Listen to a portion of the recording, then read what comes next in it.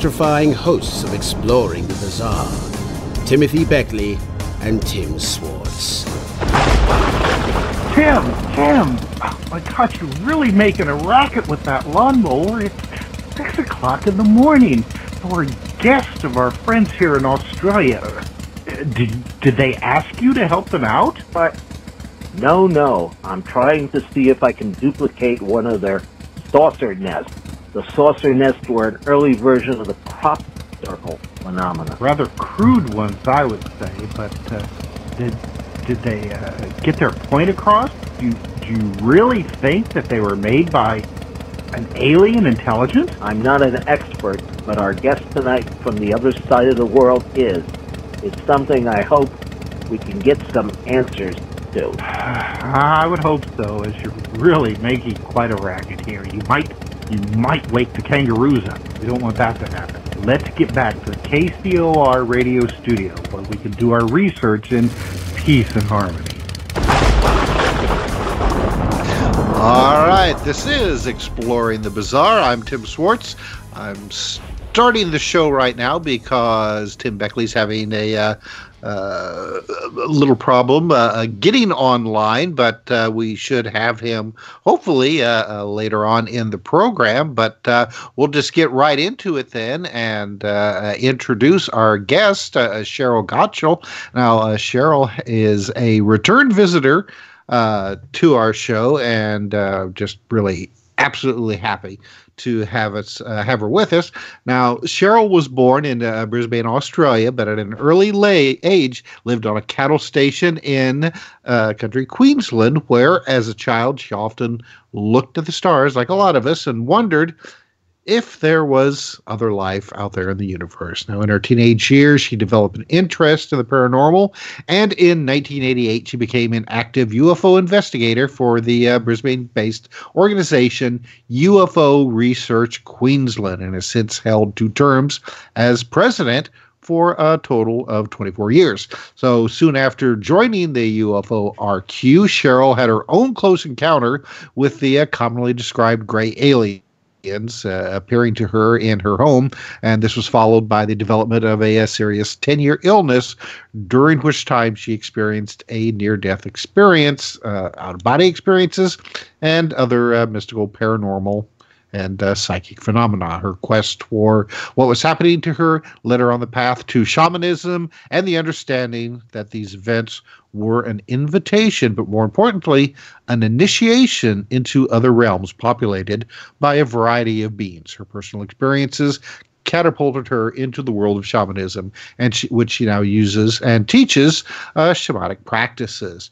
Now, in 1992, Cheryl also established the, the first close encounter support group in Brisbane after Bud Hopkins spoke uh, uh, for the first time at a, a conference there. So now, while working as a dedicated researcher of the UFO mystery for 31 years, Cheryl organizes and speaks at monthly UFO meetings for UFO uh, Research Queensland. And in addition, she is a member of the International Association for Near Death Studies uh, and uh, and hosts monthly meetings and explores the afterlife. Now, Cheryl is a regular writer for the Australian bi-monthly publication UFO Encounter.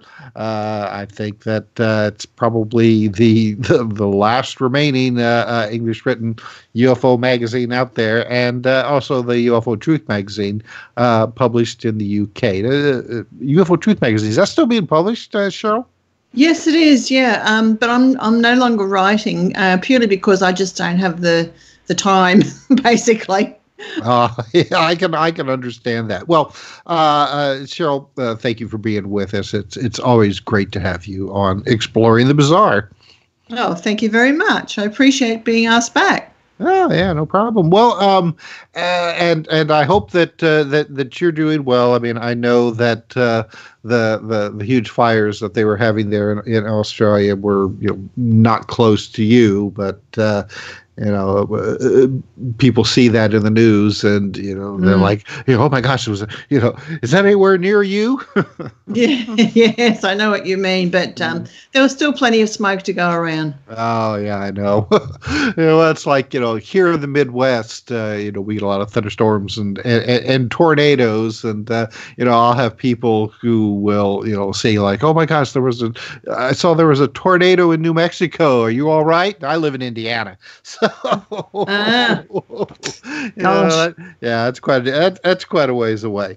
All right, so um, uh, hopefully Tim Beckley, he's uh, he's he's he's writing uh, asking where everybody is. So I don't know if uh, I think that uh, Tina's trying to uh, work it to get him online. But uh, let's uh, let's start, Cheryl. Now I know that Tim really wanted to talk about the uh, the the famous or possibly the infamous uh, uh, Tully UFO nest. That's something that uh, has fascinated him uh, uh, for a long time. So uh, why don't you let our audience know just a little bit about uh, uh, uh, what the Tully UFO nests were?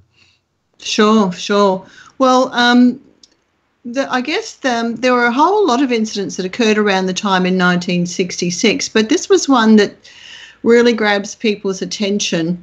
Um, it occurred in Tully on the 19th of January in 1966, and it was at 9 a.m. And what happened? And, and Tully, let me just explain. Tully is uh, 1,500 kilometres north of where I am in Brisbane, and that's about you know about an 18 drive, 18 hour drive on the roads up north. Um, so it's in it's in far north Queensland, and in a very tropical zone. But the actual incident, um, which by the way, I have to say also, um, I'd like to give some credit to a UFO researcher who's now passed on. Her name was Claire Noble, and Claire was also went on to help um, uh, one of the witnesses um, collect more information and document um, further further source and nests that were found on his property. But this this actually started with a gentleman uh, called George Pedley, and he was a banana farmer at a place called Euramo near the town of Tully. And so at 9 a.m. on that day, he was driving his tractor across the property of his neighbour's um, cane farm, and his neighbour his neighbour was called uh, um, Albert Pennisi. Anyway, the farm track ran alongside a location known as Horseshoe Lagoon, and it was called that due to the shape of the lagoon. Anyway, the lagoon covered about a half an acre. I think that's about 2,000 square metres. Um, it was almost dry three months of the year on a regular basis. Um, it had little or no bird life around it. Maybe an ibis or two was seen here or there. But anyway, in the December, the month before, they'd had uh, good rain. So by January, when the main incident occurred, um, the lagoon was half filled, uh, maybe um, 30 metres uh, across at its widest point. Anyway, the greater part of the lagoon was covered with a thick growth of water reeds whose stems were about half an inch and they protruded above the water to an average height of about two feet. So you've got this big open area, a, a watery lagoon, and reeds um, protruding out of the top of it. And the entire lagoon was green and lush until the day of that incident. So what happened was George was driving um, his tractor uh, at, uh, near, as he approached the lagoon, and he heard a noise. So he leaned forward in his seat to listen, um, and he thought the because he thought the motor was misfiring. Anyway, and he almost immediately heard a hissing sound. So he's got his head down listening to this. So he initially thought, oh, a tyre was punctured and it was leaking air. But then, to his astonishment, he saw a large saucer shape rise from the lagoon. And George was facing the object with his back to the sun. So he had a clear, unimpeded view of it. Nothing was shining, no sunlight, sun was shining his eyes, nothing was being misinterpreted. He was getting a good, close, clear view of what he was seeing. And this saucer shaped object moved directly upwards for approximately 60 feet. Uh, it tilted slightly and then it veered off in the southwest at a, a really great speed. Now, the event, the entire event only took about four to five seconds. But if you count out five seconds and imagine this object rising up in front of you to about 60 feet, tilting slightly, and then just taking off, you can still um, imagine that you can get a, you can really eyeball what you're seeing in front of you because when you're seeing something spectacular like that, your your mind is is taking in a lot more information than it ordinarily would because this is something so vastly unusual, you know. Anyway, um, George estimated the distance of the object from him. It was only about um, 22 meters. Hmm. So he got a good look at it mm-hmm. and he described it as about 25 feet in diam- diameter, uh, about nine feet thick in the center, silvery grey, and had a really sharp outline. So he jumps from his tractor, runs across to the lagoon, and pushing his way through six to seven foot tall sword grass on the lagoon's edge. And he immediately sees in the middle of the reeds a large circular area devoid of reeds. And then he further saw near the edge of the still slowly swirling water a patch of giant water couch grass. Uh, and people might not be aware of this. It was about a square yard of which had apparently been clipped short and the clippings were removed. Anyway, he returns to his tractor and he restarts the motor and he goes on his way. Then later that morning, he came back past the lagoon, and on further inspection, he sees for the first time the floating mass of reeds now on the surface of the lagoon. And the, the reeds were radially distributed in a noticeably anti-clockwise uh, manner, like like the crop circles that you were used to hearing about in the UK. Right. And the reeds in the nest um, as, as, it had come to be called, which what they got called here in Queensland anyway, mm-hmm. they were still green, just like the other reeds in the lagoon. And after the object had risen, the reeds were still green, but when George returned in the afternoon, they appeared to be dry and browned off, which is really interesting because it was only about like 12 hours later and they'd completely died off. Anyway, so by this time, George thinks, well, I better tell someone else what's going on here. so, I mean, I, I, think I would have told him a bit earlier. So, he, he anyway goes off to alert the property owner, Albert Pennisi. So, um, mid afternoon, they both return to the lagoon, which, by the way, was uh, about one and a quarter miles from the Pennisi house. Anyway, Albert decides to swim around the lagoon and he discovers that he can swim underneath the massive reeds since they are no longer attached to the to the bottom of the lagoon. And uh, he finds that the water is quite clear. Anyway, the mat of reeds is now floating on the water's surface, uh, and that mat is about 18 inches thick. Now, the other thing that some people may not be aware of um, is that when they inspected the surrounding area, they found markings leading from the lagoon to the loose ploughed soil in the adjoining paddock.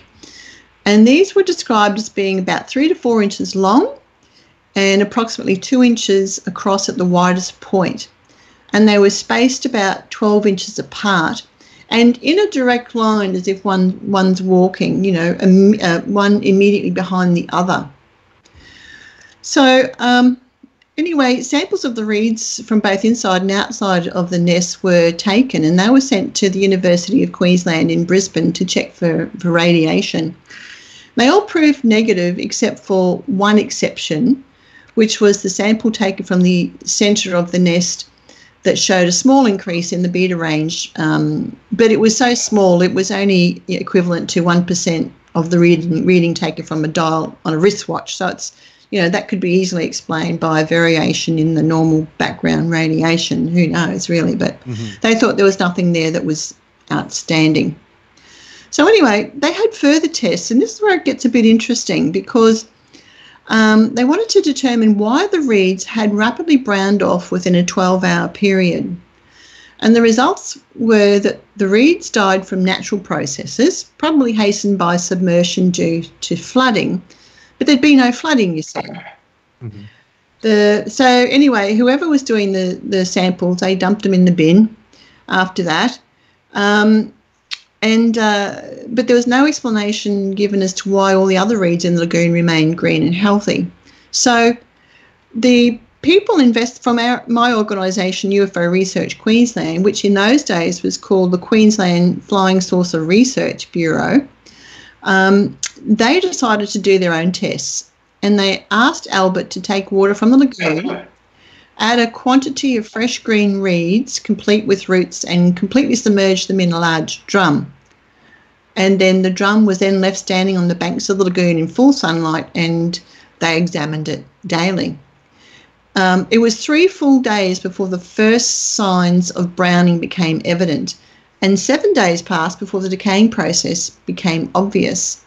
So it seems that those reeds that had browned off so quickly um, had done so in response to something.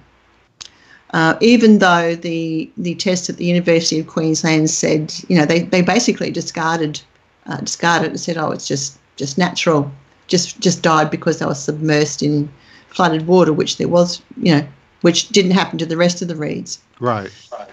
So, um, unfortunately for Albert, like there, his his um, his uh, farm was completely overrun by the public and other people wanting to come and investigate. Um, you could you could tell from the newspaper. Uh, you could tell from the newspaper cuttings uh, yes, I mean, which I've absolutely. Seen all, yeah, yeah, all all over. Uh, now you know I missed the first few minutes of the uh, of the show. Were were there? Uh, I remember when this uh, case broke, but were there any UFO sightings um, associated uh, with this nest? Yes, well, that's where he where um, Albert actually saw a UFO rising from above where the nest was, and ah, and tilting okay. slightly and flying off at a fast speed. But his mm-hmm. wasn't the only case, but I can tell you a bit more about that in a minute. But yes, the other okay. interesting part of this was that um, after the media had published the first lot of uh, botanical findings, findings, the RAAF claimed to have also done testing, but and they'd found similar results. Uh, with the addition that the nest could have been by caused by so-called whirlywinds. Well, you know, it wasn't obviously. Um, so the the main incident happened on the Wednesday. The following Monday, the RAAF makes the statement that the nest was most pos- uh, possibly caused by a hovering RAAF helicopter. Mm. But then the following day, the RAAF states there are no force Air Force helicopters in the area. So they weren't getting their story straight, basically. Uh, usual cover up. Mm. The usual cover up, but there's much more to more cover up that went on with this case because um, because of the increase in activity in Queensland at the time, um, the UFO Research Queensland um, decided to place two magnetic monitoring devices fitted with cameras in two locations in Queensland, and one of them was at Tully um, near the lagoon. So um, the apparently what happened was it, that device was triggered. It registered that it had recorded something. It was posted to Kodak in Melbourne that film. 14 days later, the sender received a letter from Kodak stating that the film case had arrived, but it was empty. oh boy! So, you know, we've heard that before, and there's oh, there's yeah. other cases, other many other cases like that um, of missing films and photos, and I've just got a couple here that I've gathered. Um, mm-hmm. In 19, 1953, nine photos were taken at Port Moresby of a UFO. This is in Papua New Guinea of a UFO. The photographer was Mr. Drury, and some people might know this as the Drury film. Um, it was a very senior official of the Civil Aviation Department, and the five best shots that he took were lost by the authorities, lost in inverted commas.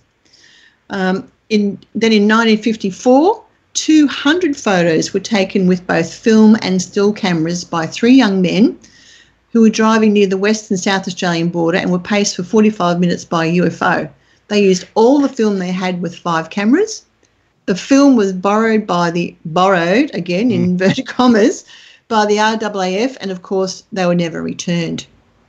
And there's two two other cases. One in 1961, a UFO was observed in brilliant sunshine by scores of North Queenslanders and photographed by a journalist from the Cairns Post newspaper. So he said a, fi- um, a five three 5 by 3 negative was sent to Kodak of Melbourne by um, a senior astronomer who he sent it to from the Mount Stromlo Observatory in Canberra. And not surprisingly, they denied ever receiving it too. Of course.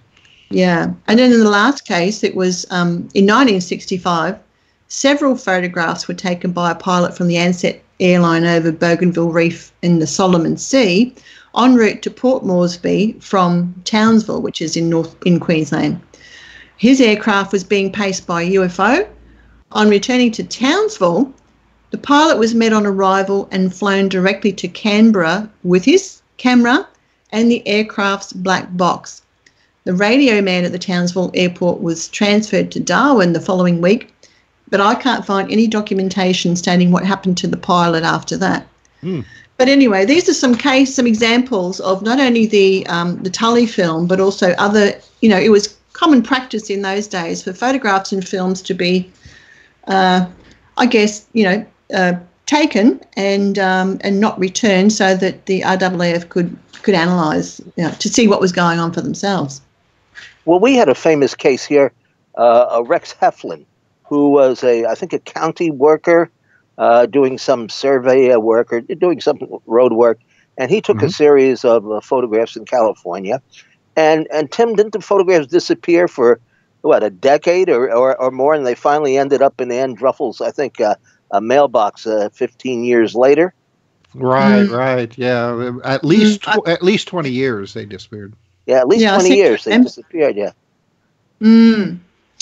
But uh, there's a bit more story, bit more of a story to the Tully, Tully case, um, because um, what there was another thing that happened on the 8th of February 1969 uh, when this um, device that had been set up to to be able to monitor, you know, anything that was going on in the area um, it had been set up in Albert's son's bedroom. I'm guessing it was because it was the best location to face that particular area. I'm not really sure why. It's not quite clear in our records. But anyway, Albert's son Shane, he was woken by the UFO monitoring device, which had a buzzer. And um, he turned it off, thinking to tell his father about it at breakfast. But Albert had already gone out the house earlier. And Shane forgot to tell him um, until he came home. And um, anyway, so as soon as he found out, he Albert gets you know gets in his tractor and drives out to the lagoon and discovers a new saucer nest. Now this one was 29 and a half feet in diameter and perfectly circular. There were also reeds floating on the surface, again in a clockwise direction. And on further inspection, another smaller nest was discovered at the extreme north end of the lagoon, and that was uh, 12 feet in diameter and it had all the characteristics of the larger one.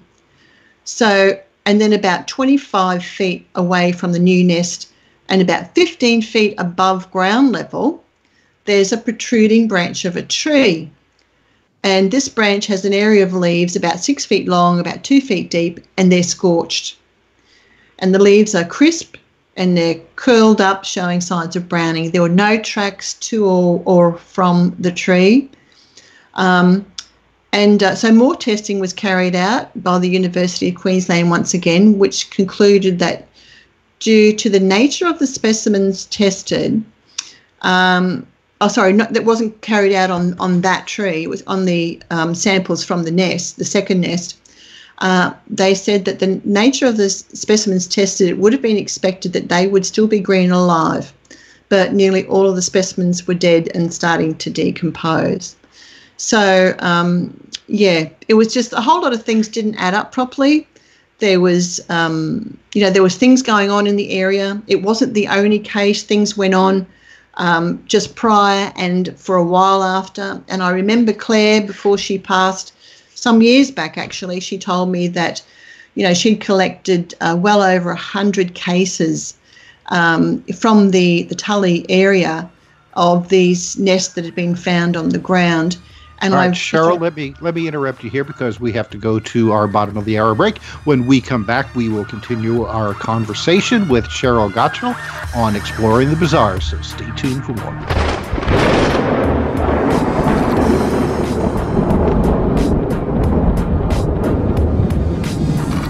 Now back to exploring the bizarre with two of the most electrifying researchers in the paranormal. Your hosts, Timothy Beckley and Tim Swartz. All right. Welcome back to Exploring the Bizarre. Uh, our guest tonight is uh, Cheryl Gottschall and uh, Tim Beckley. I'm glad to see that you were able to uh, get wow. your uh, your uh, internet problems solved. And well, I I, I, I, I, tell you, it's been a difficult uh, three or four uh, days. Uh, I haven't even been able to to eat much in the the way of food. Actually, it's, it's not too good. You don't have you don't have the coronavirus, do you? Oh, I you know I'm so old, Tim. I think I might have the swine flu. No, oh yeah.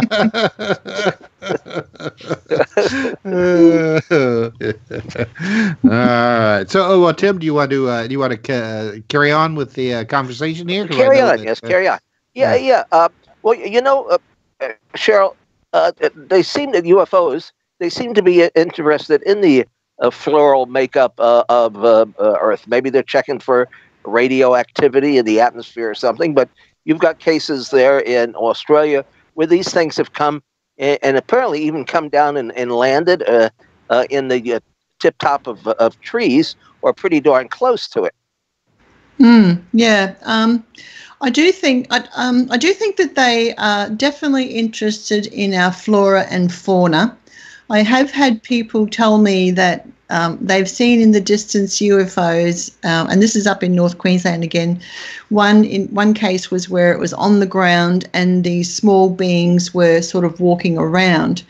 Um, he was quite frightened. He was off in the bush. Um, I think he was treating um, noxious weeds or something at the time, and he was watching them, and uh, they did seem to be uh, collecting things off the ground and I mean, we've heard that worldwide. That's that's nothing new. You know that. I remember there's a case in the United States um, in the 19 oh, in Canada actually in the 1930s where um, they were they were seen to be doing this sort of thing too. So um, yeah, it's I'm sure that they would come here and just like we would if we were on another planet, we'd be picking up samples to analyze and test and see what use we could make of them too. I suppose. Well, I, I, know one of the first cases that Bud Hopkins, the uh, late abduction researcher, investigated was the case over in uh, New Jersey, where this fellow on the way home from uh, work happened to see a UFO uh, in uh, across from the Stonehenge uh, apartment building. If that isn't a synchronicity, it was a craft that had landed, had a couple of tri- tripod landing gear. A couple of aliens came out and seemed to be scooping up the soil before they disappeared. And uh, Timon, uh, in your incredible uh, Alien Encounters book, uh, we talk about a case. I think it's right there in your home state of Indiana, where a young fellow saw a uh, saw and photographed a uh, an object that landed in a tree in his yard or his neighbor's yard. Yeah, it uh, it didn't land in the trees. It uh, and this was in 1967 uh, in uh, Milan, Indiana, um, where this UFO, uh, which looked like an old-fashioned um, um, cow milk jug, was floating past his his bedroom window, kind of like above and through the trees and uh, the odd thing about it, and, and he did manage to uh, take a couple of, of uh, color 35 uh, millimeter uh, photographs. But the odd thing about it was that uh, the next day, a lot of of branches of these trees that this thing came close to had withered and died. So I mean, very similar to what what had happened to the the reeds there in Tully. For sure. Mm. I, I wanted to change the the subject a little bit here. Uh, what is with mysterious pregnancies? Uh, missing pregnancies. Missing pregnancies. Okay. Missing pregnancy cases. Yeah. Mm-hmm. Um, yeah, I've heard a few of those over the years, and, and not just in Australia, but all around the world, actually. And um, there was a case here that um, involved a woman that I've known for quite a long time. And she was working at um, uh, on the Gold Coast, and mm-hmm. um, there was sort of like a lead up to this, okay? It's not just a, like a suddenly you're pregnant and, yeah. and, then you're not, and there's a whole mm-hmm. story mm-hmm. around it. But just to keep it as brief as I can, um, what happened leading up to this experience was that she was driving um, the same way to and from work every day. And that particular night, she left work about 7 p.m. And she was walking across the car park towards her car when she saw the brightest star she had ever seen. Anyway, it was so bright and beautiful, she couldn't take her eyes off it. And for some really weird reason, she suddenly became very emotional and she started to cry.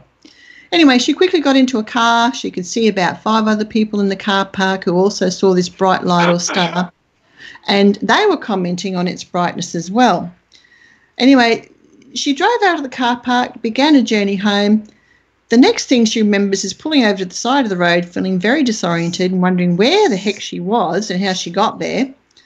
Um, it took her minutes to get her bearings. Then she drove home, annoyed with herself for driving in such a confused and, and irresponsible manner, she thought. Anyway, she arrives home. She's still quite emotional. She walks inside. Husband wants to know where she was because she was over an hour and a half late. So she's running around checking the clocks, going, Oh my gosh, you know, like that can't be right. I've only just left work and it takes me so long to get home. I can't be an hour and a half late. But turns out she was. But this was just sort of like the beginning of what was going on for her. Because after that, they decided to go on a holiday and they were going to go up to um, North Queensland or central North Queensland to do some fossicking. Anyway, um, before she went though, she um, she found that uh, she now let me get my, my story straight here. She discovered that she was pregnant. That's right. Um, she already had two children, um, but she really wanted to have this baby, and um, but she had concerns that something didn't feel right. She had a terrible feeling that she was going to lose this baby. But anyway, um, about two weeks later, she develops gynecological problems, thinks she's going to lose the baby. Uh, according to the doctor, everything was all right, and she was about six weeks pregnant.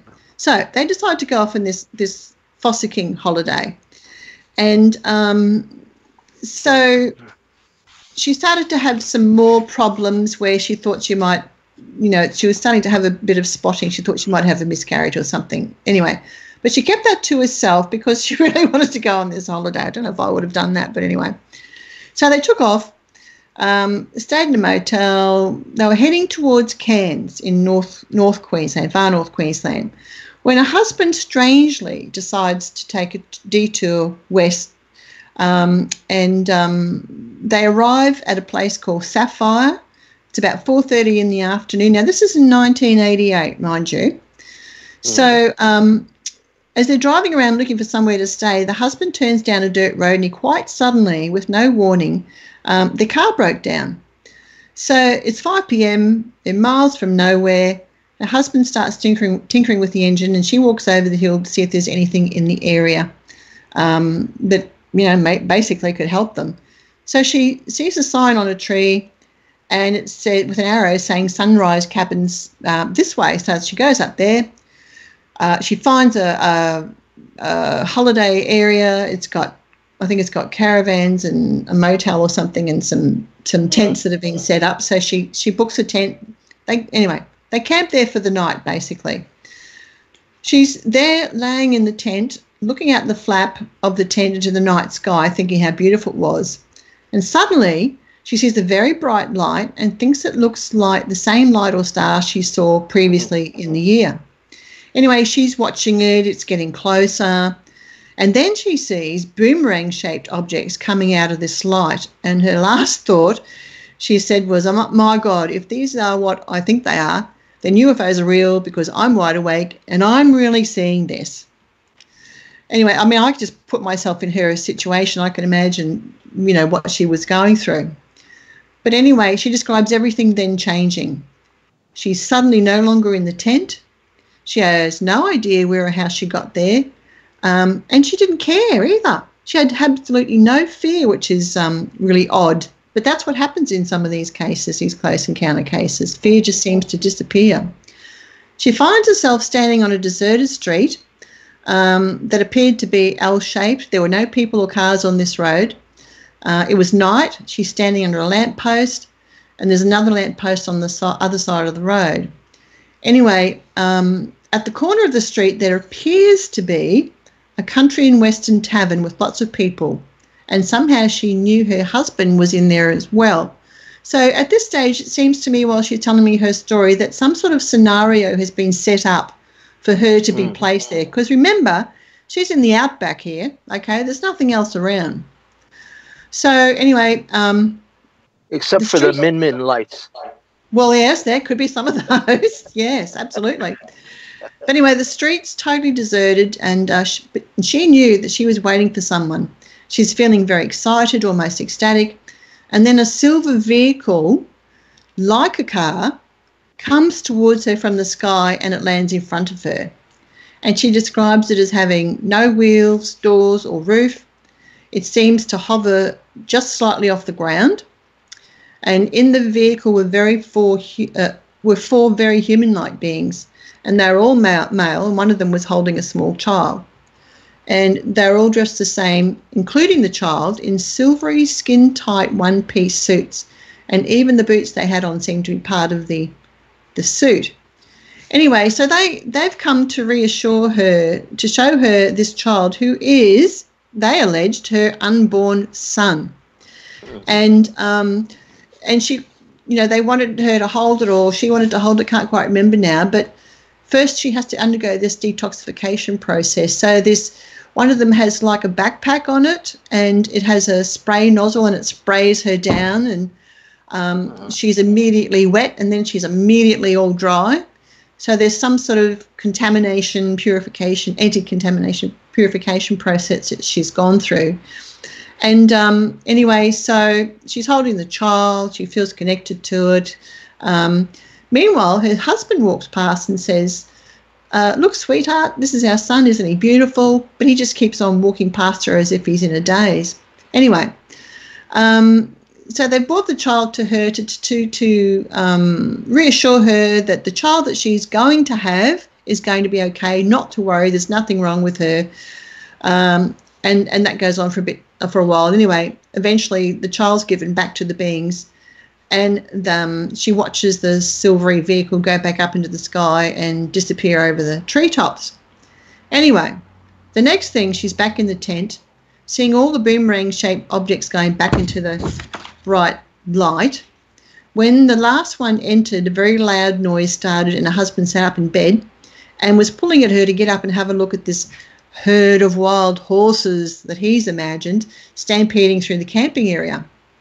Um, mm but she she just says she feels paralyzed. She she couldn't move a muscle, and um, before the noise, um, but the noise just keeps getting uh, keeps going until eventually she drags herself up to see what was going on. Only to hear her husband saying, "Oh, too late, you missed it. Go back to sleep," which she instantly did. But anyway, finally getting to the missing pregnancy. But I just wanted to give you the background of that particular case. The next morning, she has a nagging feeling that something had happened through the night, but she couldn't remember what. So she put it down to one of those dreams that you have but you can't remember. Goes and has a shower, returns to her husband, and he, he says, Did you hear the racket those horses made last night when they came stampeding through here? Of course, that triggers her memory. And she mm. immediately remembers everything that happened the night before. Now, Five days after that experience, she miscarries, uh, has a miscarriage while she's still on the holidays. But the doctors, the doctors couldn't find a fetus, so sh- they assumed she had lost it before arriving at the hospital. Now, it took nearly four hours to get to the hospital from where they were, so if she'd lost anything, it would have been in the car, which it wasn't. Anyway, when she told them she was nine weeks pregnant by then, they told her she must be mistaken because the doctor said, You've gone through an actual labour, and with the amount of afterbirth present, um, she would have had to be no less than 14 weeks pregnant, which she found impossible to believe.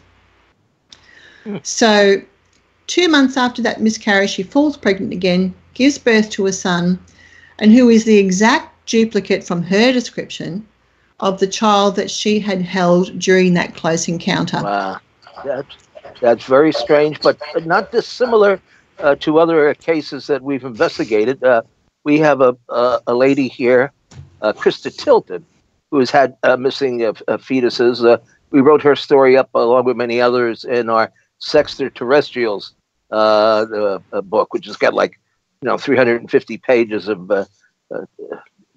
data on on similar episodes like this. So something mm-hmm. strange mm-hmm. is going on. I mean, it it, yes. it seems I, you know I mean it's hard to believe that there could be crossbreeding like that. I mean they would have mm. to be very, very closely related to, to, us, I would think, in order to produce uh, the children. Well, to be honest, I, I, could say, or a skeptic could say, well, that's an assumption, uh, because yes. we, we actually don't really know what they're doing.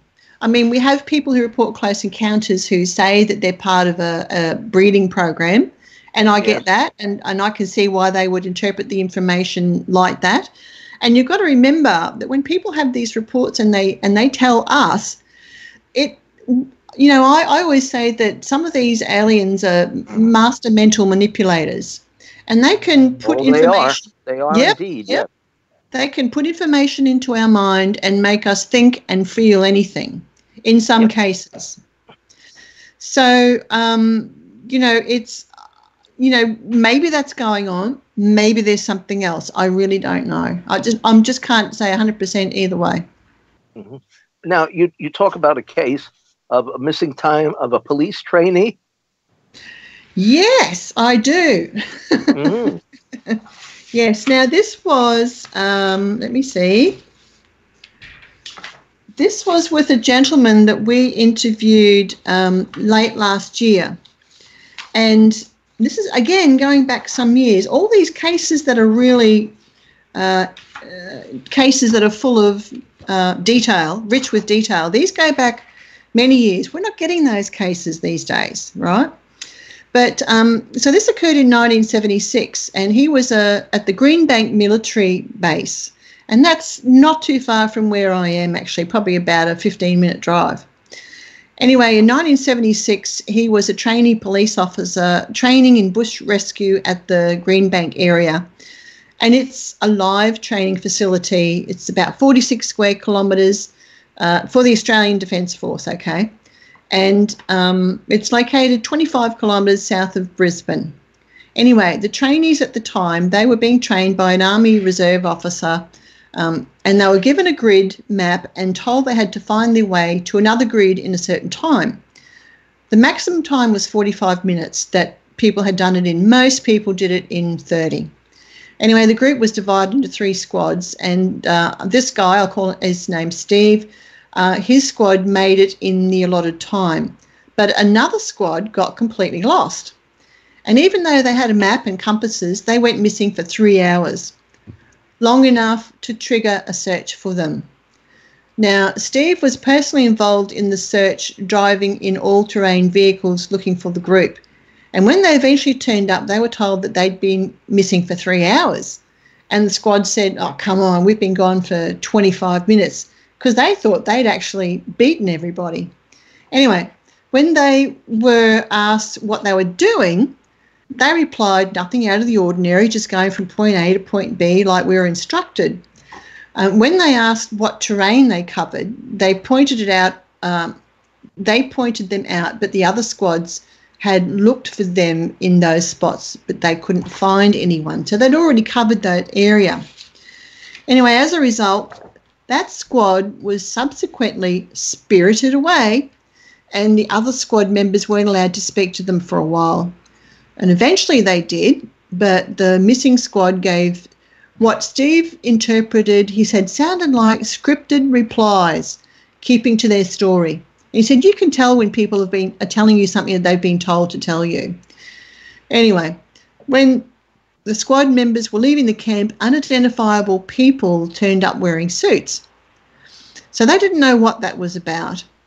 But anyway, some years later in 1985, Steve was in the Army Reserve and again on the same base.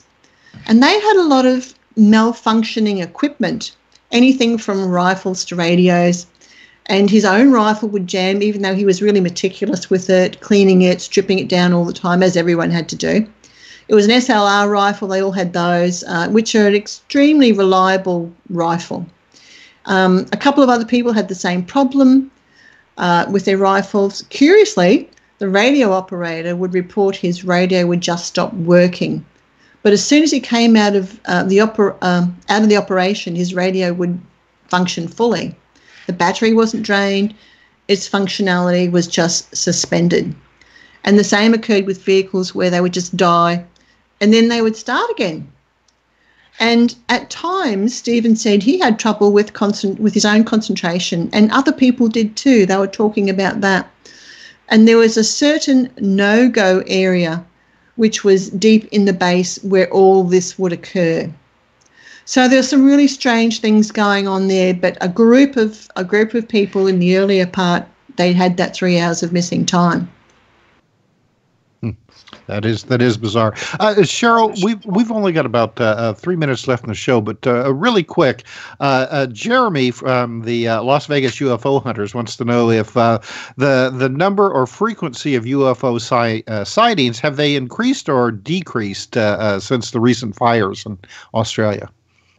Um, decreased, but decreased. they were they were low before that. There's not been a lot happening here uh, for quite some years. It's been it's just gone into that cycle, that lull cycle, which mm-hmm. which does happen with this phenomenon from time to time.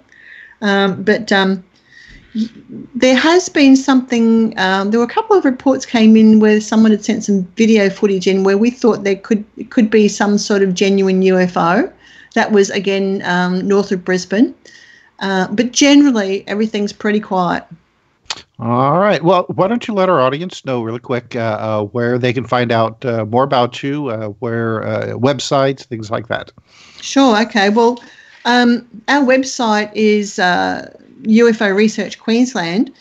But for anyone who's interested in, particularly in the Tully case, you can go to our YouTube channel. Just search for UFO Research Queensland YouTube channel and um, you'll find the you'll find um, a recording of Albert Pennisi talking at our 50th anniversary conference in 2006, talking all about the Tully case there too. We've also got a Facebook page, um, again UFO Research Queensland. You can go on there and um, get the. That's where I post all the any sort of news and Australian news and sightings, and I stick just to Australian material on there. So anyone who wants to know uh, what's happening in this part of the world, they can, they can jump on there and have a look. Well, you also have a very readable magazine. Yes, we do. Yes, UFO Encounter. Oh. That comes oh, out it's, twice. It's one, yes, it's, it's one. It's one of the best. Very easy to read, and it, it's not uh, printed on go- a gaudy yellow background with purple type and stuff like that. very, very easy to read and very enjoyable, and some very, very uh, important um, uh, articles. Anyway, it's been a pleasure to talk uh, to talk with you again, and uh, I, I, will follow up in a in a couple of months and see what's uh, cooking. And in the meantime, don't forget our YouTube channel, Mr. UFO Secret File. And this week, Tim, what book did we release? The uh, Paul this, Villa story. That's right. Secret UFO Contacts of Paul Villa on Amazon right now. All color, all color, every page. Good night, all. Thanks, Cheryl. Thank you. dreams. Yes, thank you. You've been listening to Exploring the Bizarre with hosts Timothy Beckley and Tim Swartz. They're taking back the night by jetting non-stop across the cosmos in search of the truly bizarre and totally unexplained, with you as their co-pilot. Thursday nights at 7 p.m. Pacific, 10 p.m. Eastern, on the KCOR Digital Radio Network. For more information on exploring the bizarre and hosts Timothy Beckley and Tim Swartz, check out their KCOR Digital Radio Network page. Follow their YouTube channel at MRUFO 1100. Exploring the bizarre.